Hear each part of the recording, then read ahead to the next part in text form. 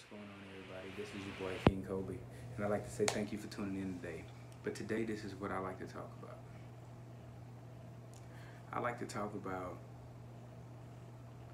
how superb you are as an African American in this world. Because when it comes to anything, there's nobody more sophisticated than an African American in, in this world.